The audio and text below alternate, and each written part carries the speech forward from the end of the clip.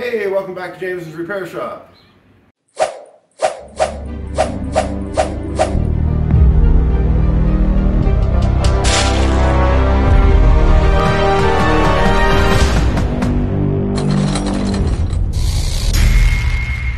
All right, today uh, I'm going to start doing these uh, rear deck lid hinges for the convertible deck.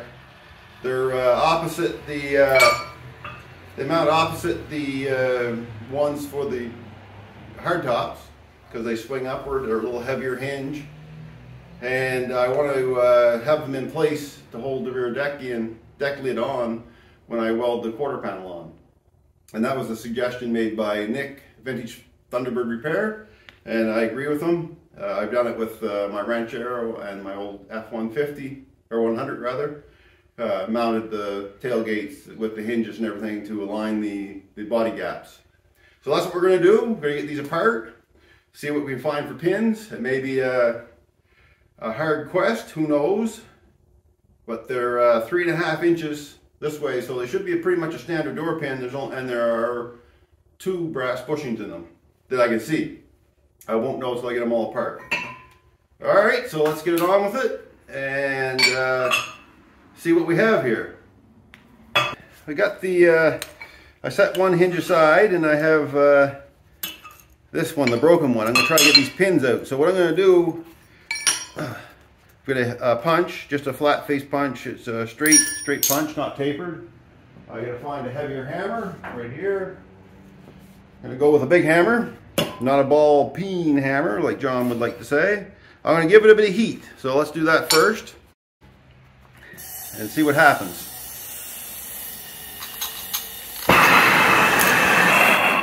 All right, get it warmed up a tiny bit. Now I have these holes that are already in this piece of this bench I have here. So I'm going to line up the hole. Hopefully this pops right out.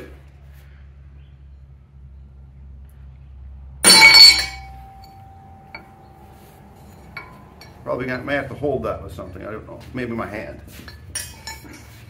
Trying to get it so you guys can see what I'm doing here. So sometimes my hand will get in the way. But here we go.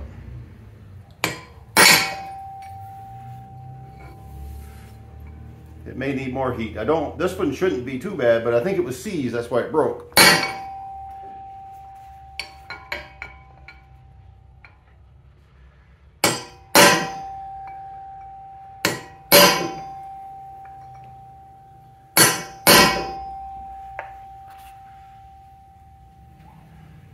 Not getting any movement there. Let's give her a little more heat. And actually, I'm to grab some uh, to put on it. All right, I got a little deep creep. I'll put that on. Let it suck itself down in there. Sometimes that's all it takes.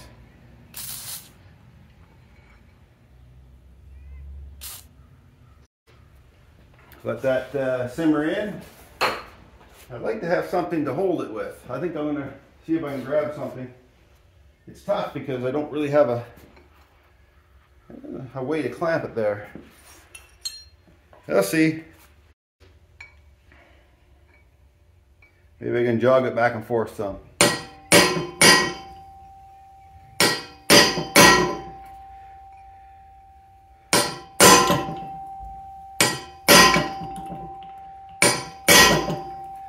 Looks like it's moving.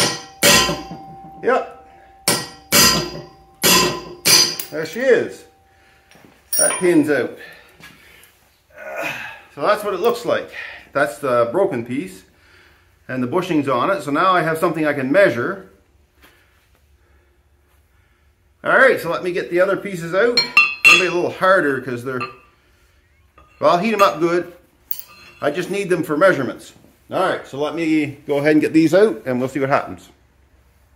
Well, there you go. I got all the parts out, heated up good, popped them out, went well.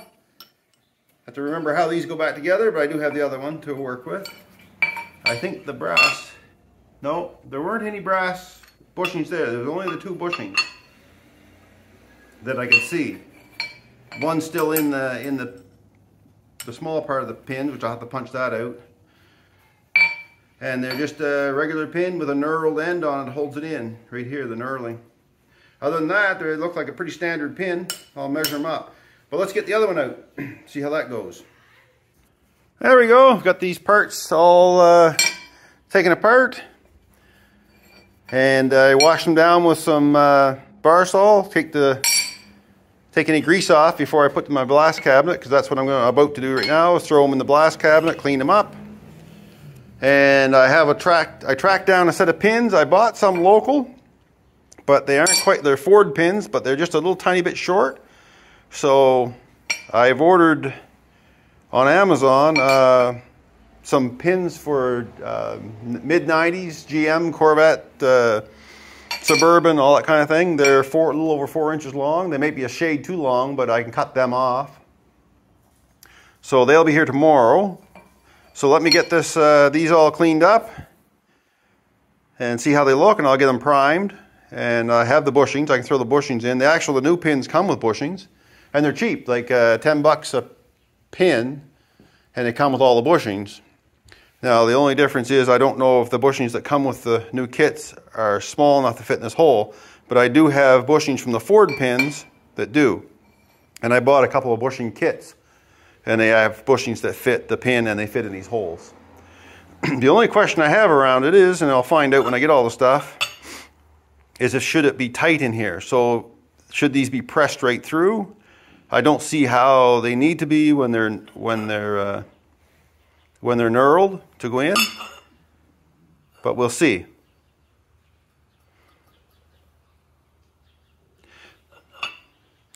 So another thing I was thinking about doing with these is actually, uh, I think they go this the other way. So when you put them together, like this, this is how they go, I believe. Yeah, they do.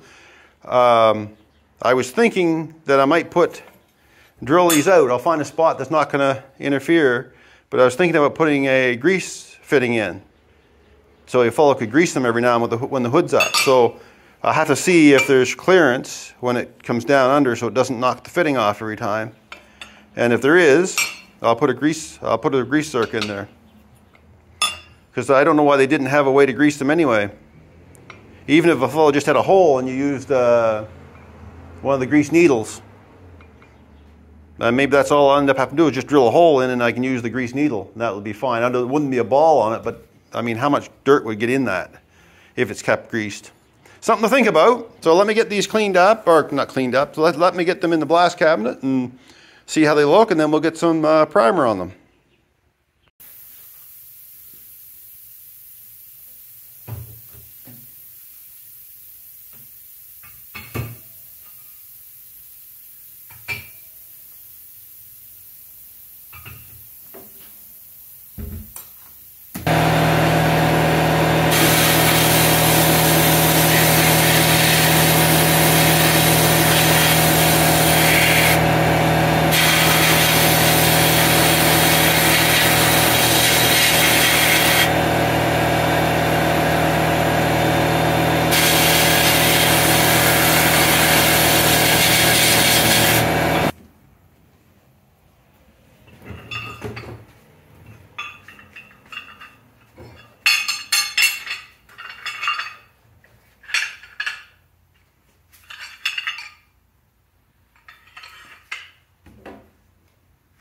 There we are. Coat of primer on them. They look pretty snazzy. That'll dry to a matte finish like primer does. And then I'll leave them in primer because these were painted uh, uh, body color, white. When they were mounted, they just sprayed over the whole thing. So that's what I'll do. All right, so that's that part. Now I want to get the pins, get them put in. Now they have them all primed up, and I just want to mention that if you're doing this, just take the thinnest zip cut you can get and go between there. It's just a lot simpler trying to drive that pin right out. One side was broken, and it wasn't aligning up properly to hit the other side. So I just cut one side. Uh, the pin was broke anyway, so it didn't matter. But I think if you're doing this work, this type of hinge, just take your thin zip cut and cut them off long as it'll fit in there nicely and not uh, cut out the, make them loose, you know, doesn't damage the, the hinge point. So anyway, um, I, I looked around for hinges locally, hinge pins rather. I found some Ford ones, a couple of different GM ones, but I could never find two of the same. So I went online. Uh, first I went on Dorman, uh, and I found, had the measurements of the pin that I wanted. Now, uh, on Dorman site, you can browse the pins and you'll see all the correct measurements. So these pins here are just slightly longer than they need to be, but that's okay because I can cut that off. The other ones, the Ford ones, were only came to about there inside, which would have been fine. But uh, these ones are perfect. 10 bucks a piece, nine something on Amazon. Probably get them at Napa. I don't know, any uh, PartSource, like Canadian Tire around here. I don't know, they might be able to order them. I couldn't find anything at Canadian Tire, really, my local one. So anyway, what I have is a Dorman 38400 model uh, pin, hin, hinge pin kit. So what comes in that is the pin, two bushings, or four bushings rather, two of these heavier bushings which you won't use, and then there's these two other brass bushings, or sintered metal bushings, I'm not sure what they are. And they actually fit nice and snug right in these holes. Just enough, you have to tap them in. So that's almost perfect. The pin itself fits in. It's got the serrated uh, or knurled end on it. Knurled uh, lip. So it drops in. So you can punch that through. We'll go through from this side. I can tell because this is how I, you can see where I was pounding on it a little bit. So I can tap that in or, or put it on the bench press I think tapping in would probably be just as fine.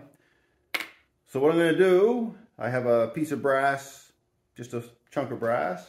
So I'll set this Dorman part aside. So this is, uh, anybody didn't see it, that's what it is. Uh, 38400 part number. So I'm going to take, and I have a little piece of plastic here. Hope you can see this. So I'm just going to pound, the tap these in with, a, with my small ball peen hammer.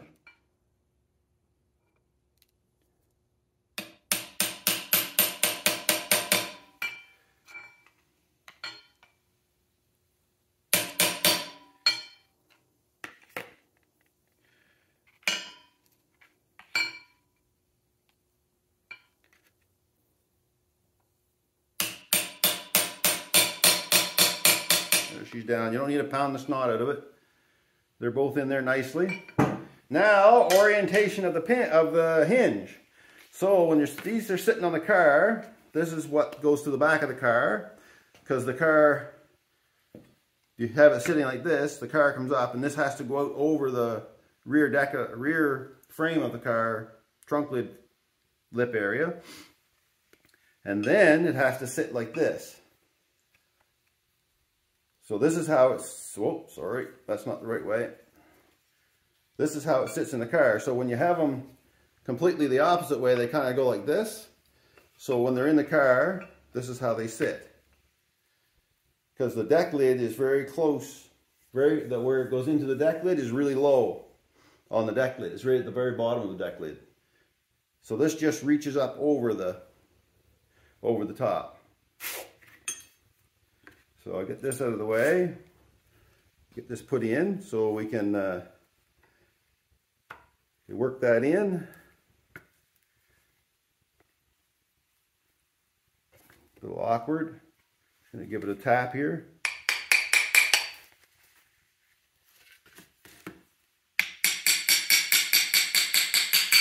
There, pop right in. There. Now, if I can get this in nicely, and this is the side where the pin comes out of, so I'll put it in this way.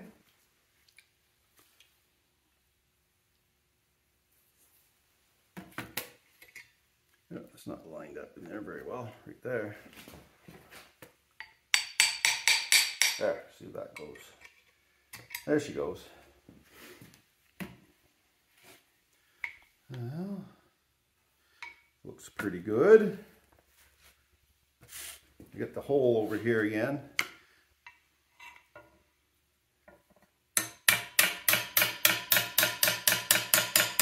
Now I'm not going to set that down in right now because I may I want to I'm thinking about I want to get it on the car when it's like this.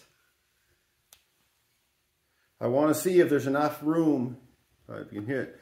I want to see if there's enough room to put a, a grease fitting in so I'm not going to put those in all the way yet in case I have to take it apart again so it sits on the car like this and that's how it should look so I'm going to get the other one done and then we'll try it on the car, make sure there's no obstructions.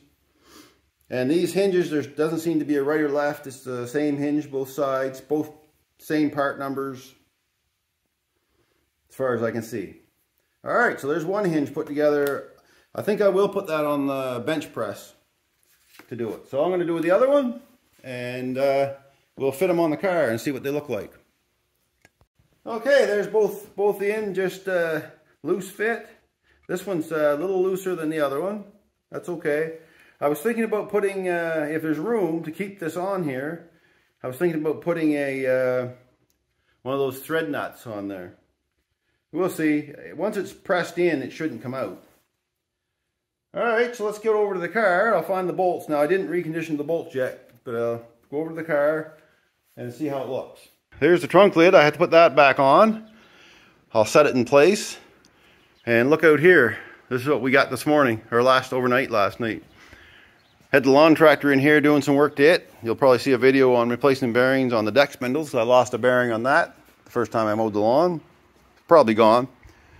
But look at this. Nice stuff, eh? We thought we were clear of it. Nope, not yet. Was it April something? April 19th? Not sure what day it is. All right, so there's the old car. So I'm going to move the lawn tractor of the way so I can work a little bit. I'll just push it back some, leave the door open. And I'll get the bolts. Okay, I got the bolts in. And I put the deck lid back on, and that makes it easier to get the hinges in the slot when you're all alone. You couldn't do this with the bumper and everything on. Uh, but, uh, well, the bumper has to come off to get the hinge off. Anyway, so I'm going to pull the hood, the, the rear deck up and put the bolts in it. And in case anybody's wondering what this is for, I believe I did mention it already in this video, that it's because I want to put this quarter panel back on and I want to make sure that there's a body gap is correct. So I'm still going to have to uh, put a little spacer up there just to bring it up level. That's easy enough to do but I want this to be nice and straight before I uh, put that when I when I put that quarter panel on on this side. So I'm going to pull the the deck lid up and get the other bolts in it and see how she goes. Well, there she is. Uh, I have to go out to my storage shed and get these uh, plates uh, to fasten the hinge uh, hinge plates to go on here. So I'll get that done, but this is the idea, rebuilding the hinges, and I believe there's going to be enough room to put a Zerk fitting in there, or even just, like I said, a hole and use the grease needle, because that'll be facing down when the car is at rest, when the hood, when the, when the deck is down, and that means that no moisture will drip into it. So if I just put a hole in there and I can access it, it looks like I can get at it here um, when the lid's open.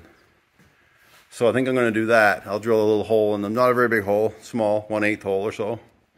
Just enough to uh, get a little shot of grease in it every now and then. But that's it. That's uh, how rebuild these hinges. And uh, I hope that's helpful to someone that is doing these hinges. I mean, that those pins seem to be working just fine. I don't think there's anything going to interfere with how they are stick if they stick out a little bit. So I'm, like I said, I'm just going to leave them for now so I can pull them back out, take it apart.